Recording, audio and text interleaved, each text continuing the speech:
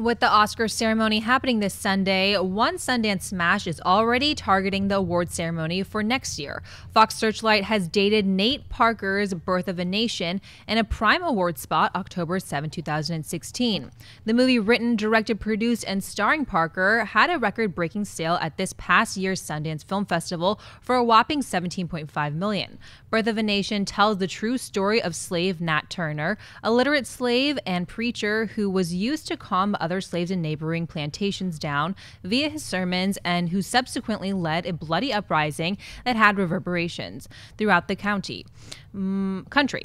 Mark, what do you think of Birth of a Nation getting an October release date? I think it makes a lot of sense because this movie could make a lot of noise come Oscar time next year. This week, next year, we could be talking about Nate Parker for a variety of awards. Look, I've been high on this guy ever since I checked him out in arbitrage a few years ago. He's a guy that needed to get more work. We always said, Where's Nate Parker? Where's Nate Parker? Look at what he's done now. This movie's already making Oscar buzz. We haven't even gotten to this awards ceremony yet. It's the perfect release date for this. You can build up Oscar buzz. October is really where you start kicking award season into high gear. And everything I've heard about this movie, I wasn't able to go to Sundance like some other people here at the panel. So I don't know what the movie is. I don't know if it's great or not. I heard a lot of buzz coming out of it, Kristian. It sounds like this dude, not only in front of but behind the camera, is going to be a force for a while. Listen, yeah, I got to go to Sundance, but I didn't get to see the movie. But I did get to speak to him and to hear this guy's passion for this movie, and to hear his co-stars and to people to talk about what he brought to this movie.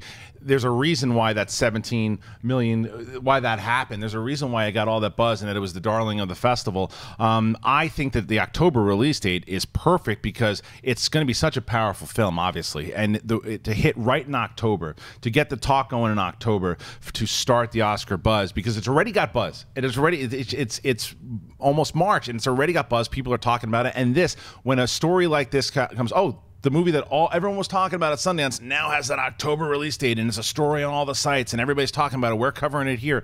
It makes a lot of sense to put it there because I think that this is so far, I mean, going to be a front runner to win Best Picture. I mean, I haven't seen the damn thing. I mean, the whole reason that they went with Fox Searchlight for it's they actually took less money than because right. Netflix offered I think around twenty million. Yeah, twenty or twenty one, right? Yeah, and they took seventeen point five because they wanted to position this as an Oscar contender, and they saw what happened with Beasts of No Nation with Netflix, where even though that was released in theaters, it got no like very little uh, awards consideration. I think there was a stigma attached to it because it was date and date, which means online and in the theater. I think this is where they want to position themselves. Yeah, I haven't seen the movie either. Hearing a lot of good buzz about it.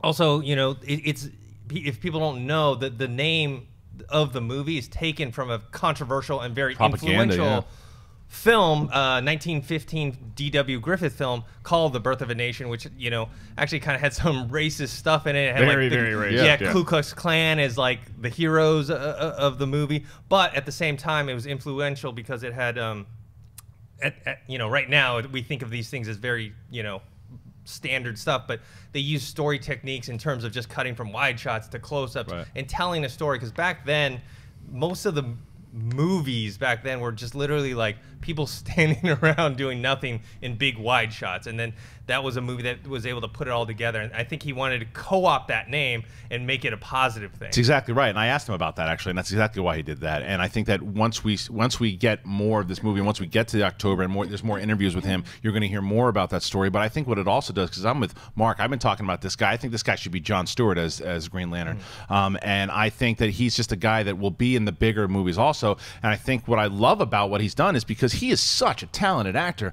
but he's not getting big roles he wasn't getting a lot of stuff. So he goes out there now, and now this is how he's going to say, "Look, I'm here. Not only am I a, a great actor." Look what I just did as far as my directing goes. So I think this is going to make him put him into that mainstream kind of superstar stuff because I remember when we were bringing him in, and I'm like, Nate Parker's coming in. Everyone's like, well, who's Nate Parker? And I'm like, no one's going to say that. Next year, no one will say See arbitrage, bro. It's yeah. great. Uh, seriously, arbitrage. And even in that, in, I didn't love Nonstop, but he's in Nonstop. He's in it. Oh, him yeah, and McNairy yeah. are in it. Um, yeah. I liked him Beyond the Lights and Beyond the Lights. Yeah, I mean, it's funny because I saw Beyond the Lights the first time and I thought it was okay, and then I watched it again and I and I wound up appreciating more. But he's he's actually great. And he invested some of his own money into oh, this sure. movie, right? Yeah, absolutely. And, and the investment's paying off. Yeah. Hey guys, if you like this clip, click here to watch the entire episode. Also, make sure you subscribe to our YouTube channel because it'll help you stay up to date with all the stuff we've got going on here at Collider.